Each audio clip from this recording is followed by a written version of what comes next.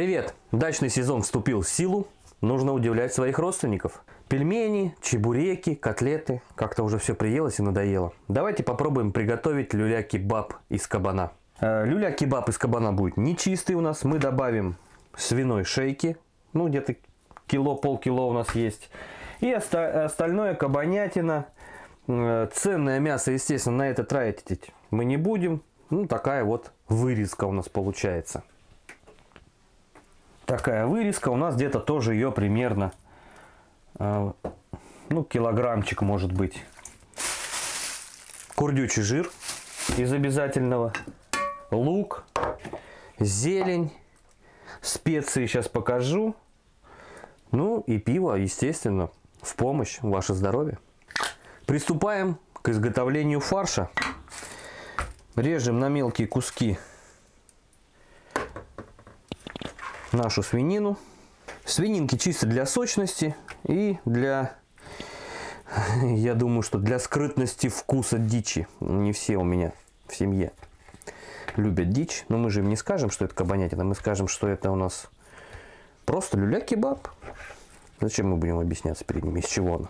Так, ну здесь это мясо у нас уже готово под мясорубку, оно в принципе мелко нарезано. Это у меня обрезь от ляшек, там еще что-то. Ну, такие вот несуразные куски. Я их специально оставил под шашлычок.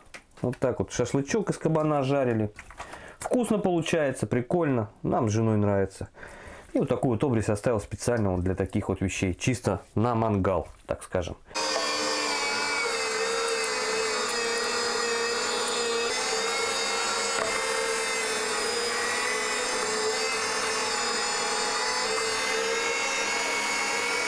И, естественно, все это чередуем нашим луком.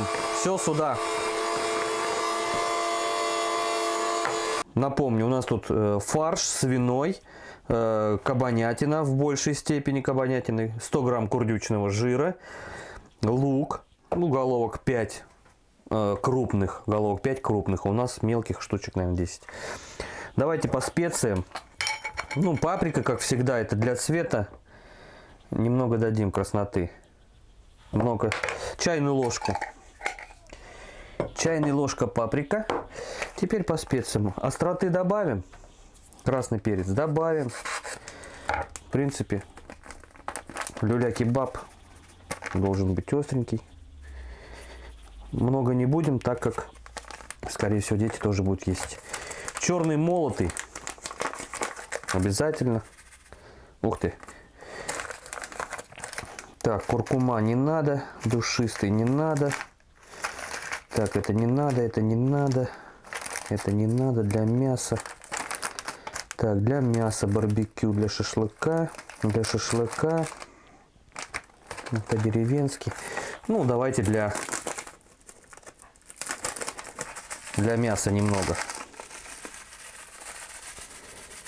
Все, немного, прям треть чайной ложки. Ну и, естественно, все это дело солим по вкусу. Ну, я думаю, не знаю сколько здесь, пару щепоток хороших таких вот прям надо.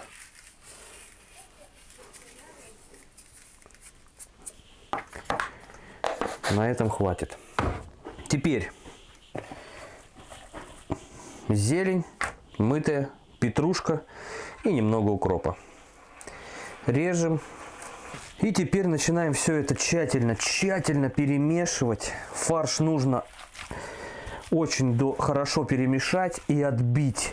Отбить для того, чтобы из фарша ушел вообще весь воздух. Чтобы лю люляшки э, не отслаивались от шампура. То есть сейчас я его тщательно сначала перемешиваю. Очень хорошо сначала перемешаю. Долго. Я, наверное, убью на это минут 10. Это точно. На перемешку. После перемешки буду отбивать.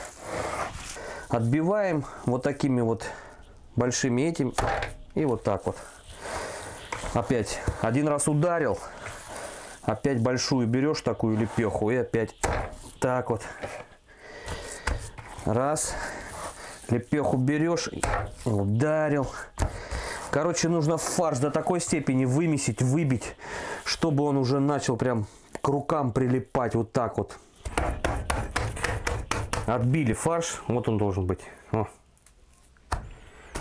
Я думаю, уже готово.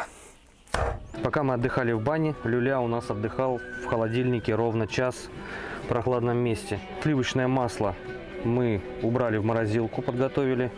Лук нарезали. Это для подачи. Все. Теперь берем и формируем небольшие такие вот котлетки. Ну, примерно рассчитываем на, Моды Коммунистическая 90, ЗАО «Проспект». Завтра в Самаре ожидается переменно облачно. на шампур. Ну, такие вот котлетки. От 6 до 11 метров в секунду. Есть, даже можно их подбивать 5 немного.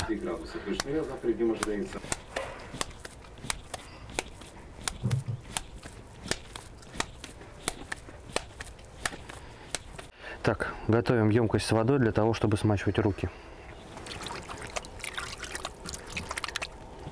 Смачиваем руки. Берем один шампур.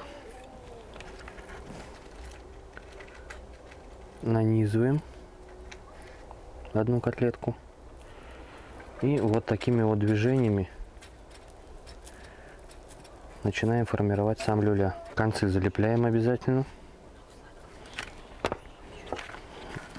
Делаем аналогично второй. И в таком порядке все шампура готовим.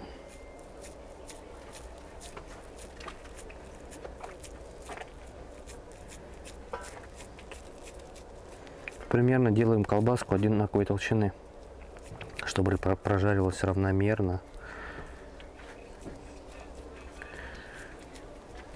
И в конце запечатываем.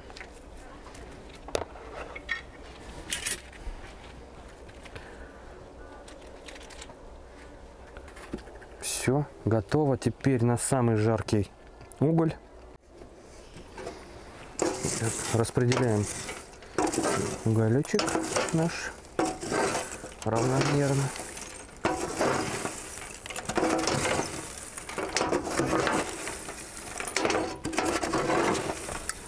Наши люляхи.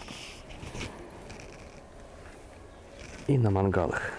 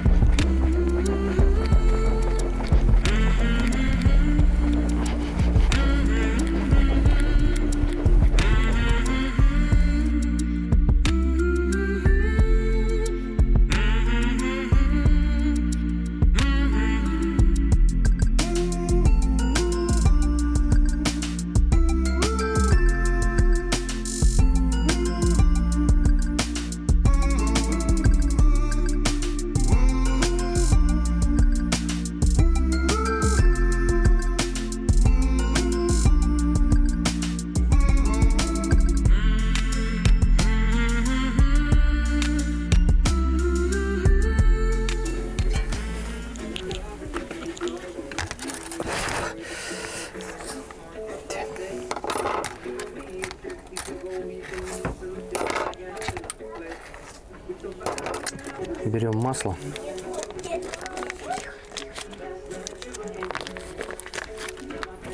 Классическая сервировка.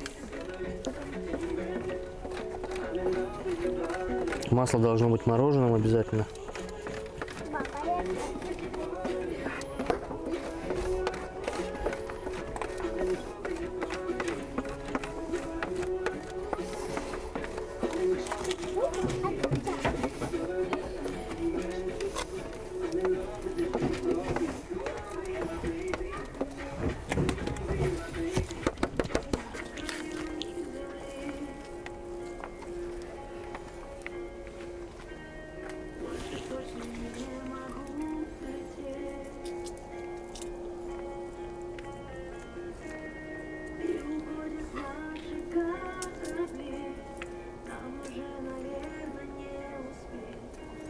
Две минуты даем постоять и подаем. Следующую партию делаем. Э, Шампура обязательно, крайне обязательно остудить до холодного состояния. Ну, если не лень, желательно даже помыть их. И делаем вторую партию.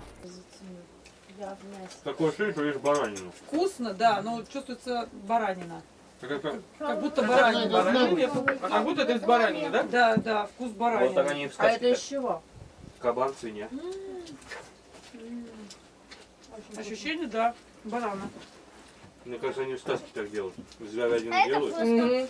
Просто курдючий жир, да? Вкус, Курдючий жир да, добавляют вкус баранину. баранина, баранина вообще прям Как будто из баранины. выражен. Свинцово все великолепно. Вкуснятина. А, Кстати, это что, тебе вино нравится этот сезон? Не кисловато? Да. Не. Ну и пей. Женек, по-моему, уже третью бутылку вываливает. Не, пусть пьет, пьет, пьет. Его надо выпивать течение года.